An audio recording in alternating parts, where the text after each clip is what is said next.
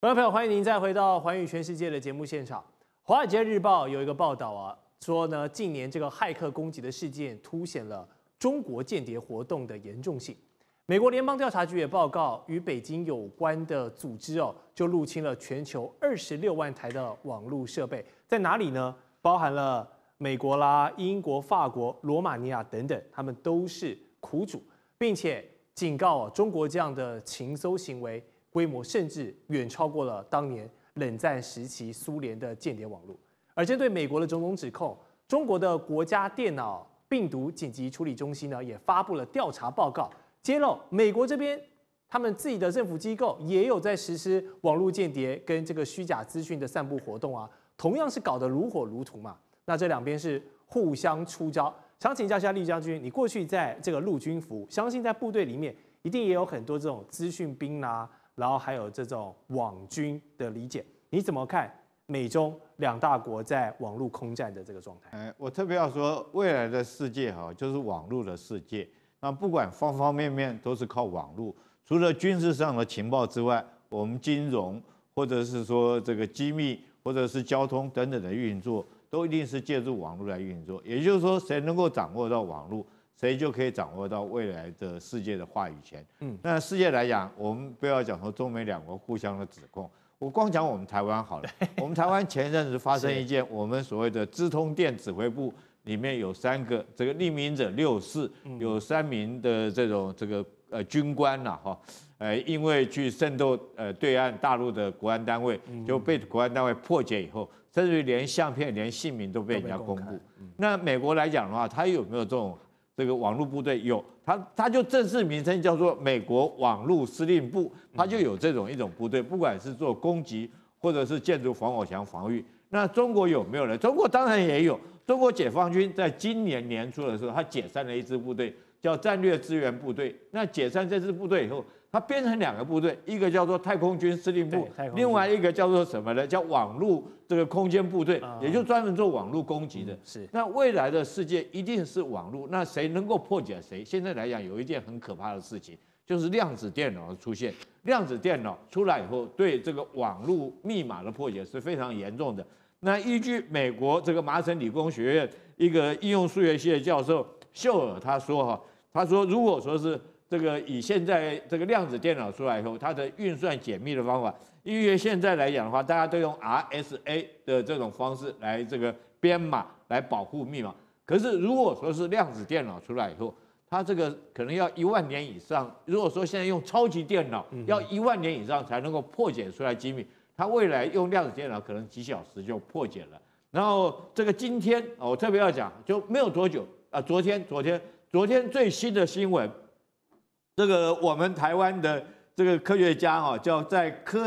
科技产业资讯室的黄松勋先生，是他发表了一篇论文。他说，中国科学家是的将实现量子电脑破解加密的演算法，这全球的这个治安将面临新的挑战。是，这是昨天昨天我们自己发布的信息。为什么中国在？量子电脑有这么大的一个能量，什么叫量子电脑呢？我简单的来说，我们一般来讲，所以传统电脑都是呃零跟一的一个编码来讲嘛哈。那量子电脑它可以突破零跟一，也就是这个这个 byte 它不是零也不是一，在这种状况下，它的运运算方式逻辑就跟以前不一样，所以可以很快的运解出来。那现在来讲，中国在这方面已经取得明显的一个成就。它每年投入的金额是一百五十三亿，啊，不是每年了，就目前投入金额是一百五十三亿，在做这个量子电脑研究。也就另另外在之前，它有一款这个量子电脑，叫做这个叫做呃悟空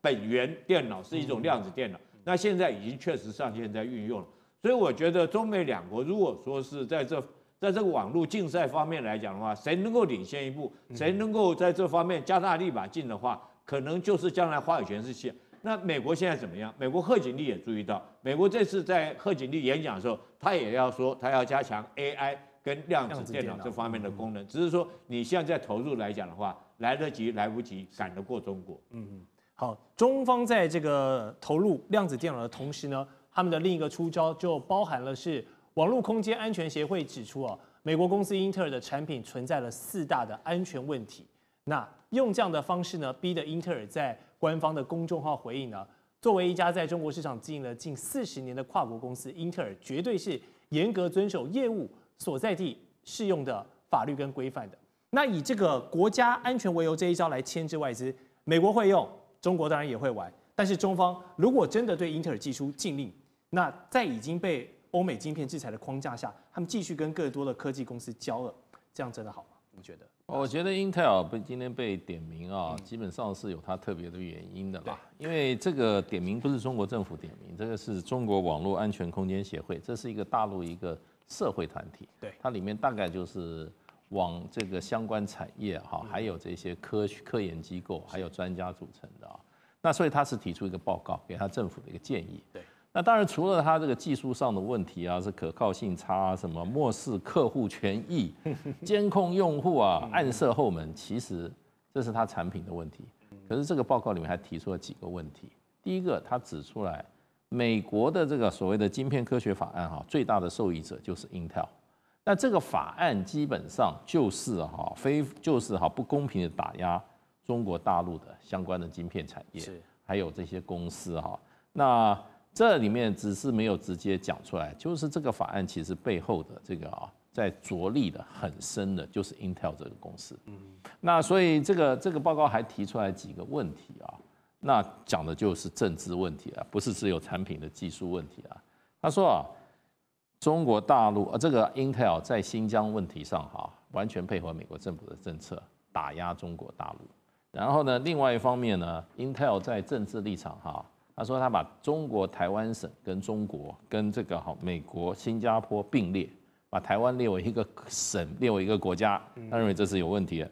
第三题，第三个哈，他就是说美国政府要他停止对比如说中国的厂这个特这些这些芯片厂商提供服务哈。对，那 Intel 是完全配合，它不像 NVIDIA 说啊不行啊，我新兵做一个特供的产品啊，然后跟美国的政府呢。去去这个这个这个哈，去 negotiate，他完全没有，而且美国这种要做就做什么，所以呢，这个报告他说啊，他说啊，Intel 是典型的哈，在中国啊，端起饭碗就吃饭，放下碗就来砸锅这样子的公司，是，所以呢，他呼吁中国大陆政府要对 Intel 这样公司哈进行啊某种程度的一种哈制裁，那就是说，基本上 Intel 二零二三年百分之。二十五的收入来自中国大陆，对，所以这个如果中国大陆采取这个哈这个社会机构的这个建议的话，Intel 可能会受到重创。嗯哼，好，我们延续刚才委员的话题，就是如果中方真的来对 Intel 做一些处置，势必会对美国企业的冲击受到影响。当然，他们敢这样做的原因，是因为北京当局在去年，也就是二零二三年十二月就已经下达了内部指令了。说他们不再采购包含了英特尔或是超微 AMD 这些厂商处理器的电脑，那连作业系统也不要用微软的 Windows 啊，这个公家单位的个人电脑到伺服器，他们都要全面的国产化。想问一下议员怎么点评？中国想要在自主 IT 这一块，从软体到硬体彻底的改头换面，你觉得这个可行性的推广？你看，像余承东就讲嘛，就是目前为止，这个华为，像我这个是华为的笔电，对，就是好用吗？几乎是最最后一代使用那个 Windows 系的，对对。那当然，我目前来看整体都很好用，而且这个是就是最轻的九百八十公克，好。然后呢，呃，就未来了就不会再使用 Windows 系统，就会在完全使用华为自己的系自己的系统，好。那为什么呢？好，主要第一个当然是要减。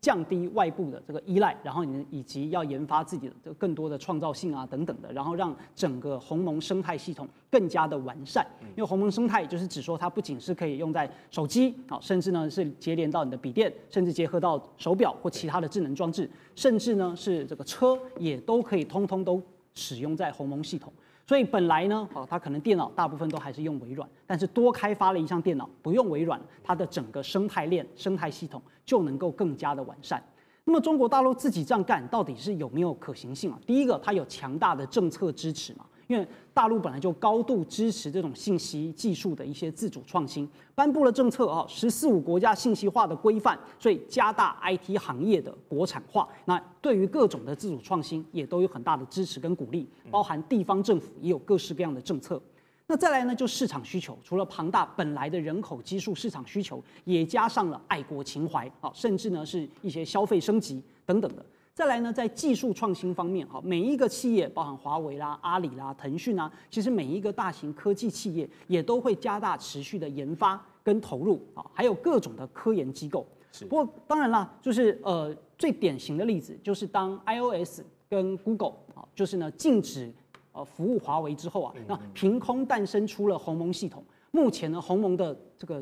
使用的装载是八亿台。对吧？那就等于本来的苹果或者是安卓，你就少了这八亿的市场。所以未来当然对美国的企业来说，其实是一种打击。嗯，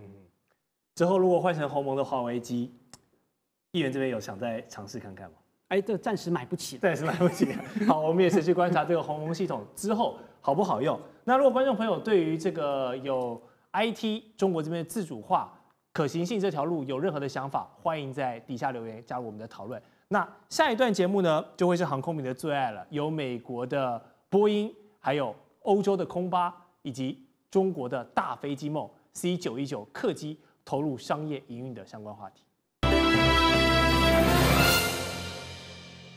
好，回到节目的现场，美国的飞机制造商巨头啊，波音，在这个长达一个月的罢工期间，陷入了一些困境。在十一日呢，他们宣布了将裁减一万七千个工作岗位啊。并且把 777X 喷射机的首批交付时间推迟了一年。那他们的这个最近的第三季财报亏损也有五十亿美元。那曾经被忠实的乘客还有航空公司人员是赞誉有加，还说出啊，如果不是波音的飞机，我可是不搭的这样的话。这么厉害的一间企业，如今混成这样的模样。那如果用四个字来形容当前的波音，问一下接大使会怎么形容？自毁长城。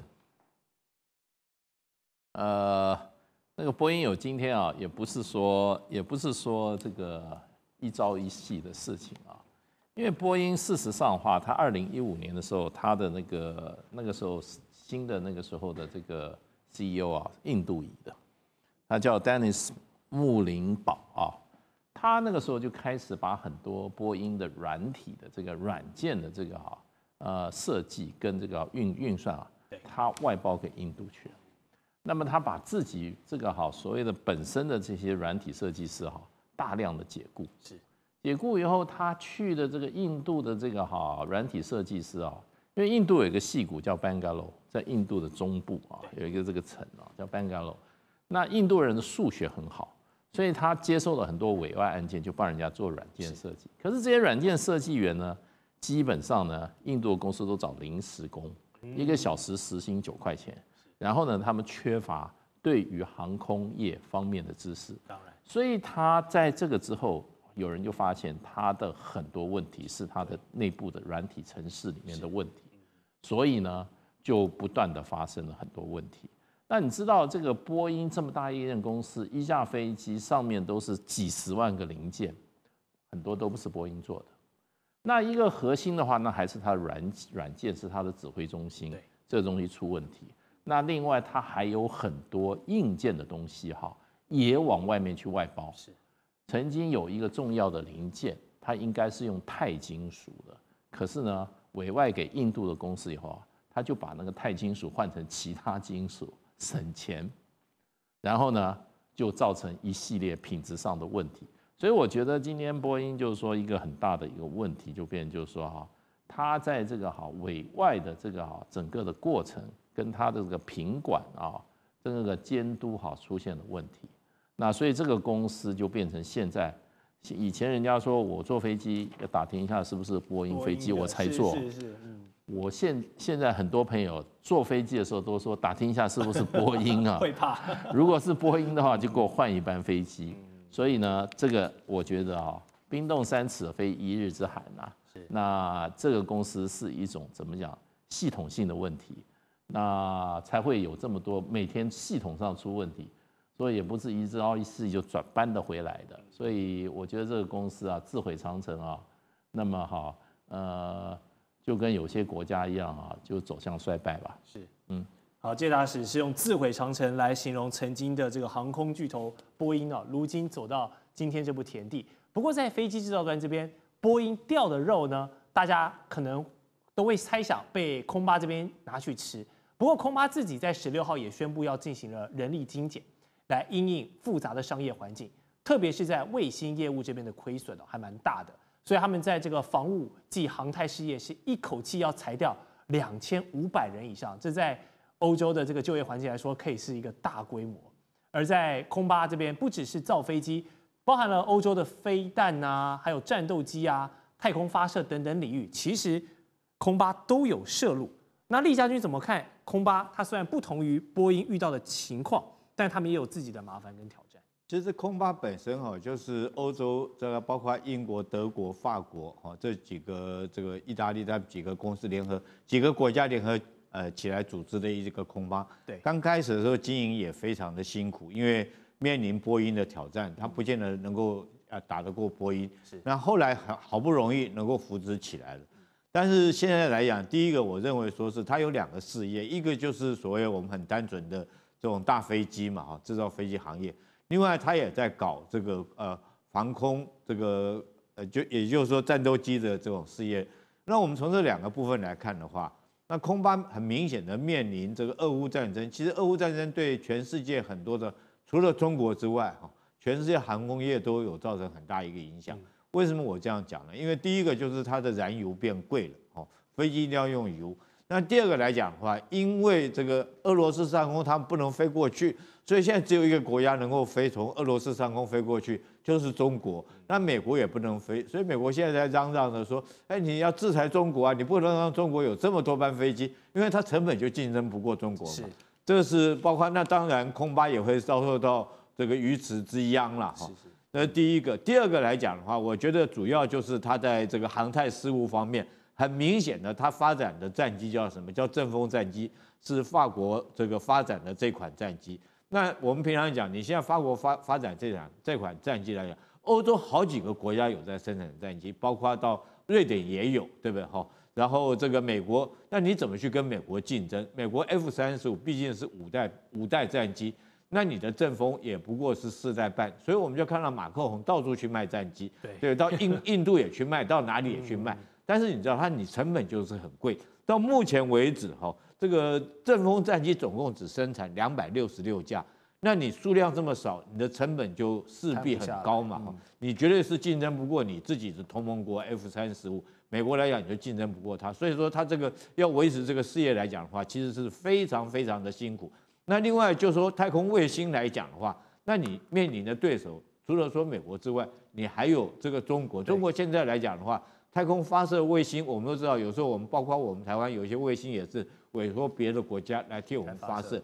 那中国现在发射卫星，它数量一颗卫星上去一星，对不对？十件一一颗卫星上去，一根火箭上去就十几颗卫星。在这种状况下，它成本也比较便宜，数量也比较大。一年到现在发射五十枚的火箭，那上放了上百颗。你这个欧洲来讲，你空巴你一年能够发射几颗卫星？那当然，如果是你成本便宜，我今天如果有需要发射卫星的国家，我当然就委托便宜的卫星火箭发射公司来做发射。所以在这方面来讲的话，它很明显的面临劣势，不管是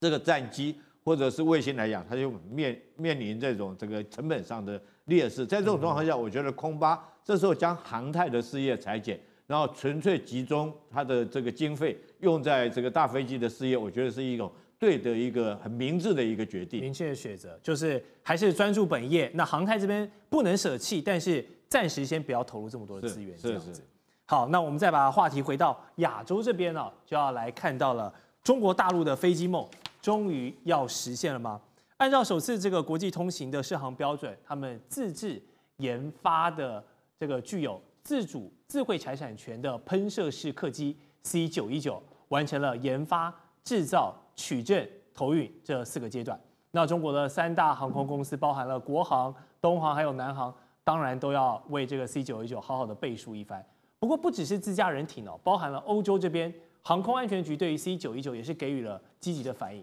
并且是有望明年获得了欧洲的认证。想问一下议员，你认为这架？Made in China，百分之百纯正血统的客机，一旦投入市场，能够让现在这个一半空巴、一半波音各占半壁江山的全国市场，把它给搅动起来啊，当然是，而且实际上已经产生影响了。我们从前面就是波音的它的大幅度亏损，除了因为它产品质量和安全问题不断突出以外啊，就亏损预期超乎之外，最重要的原因就是波音在中国市场的全面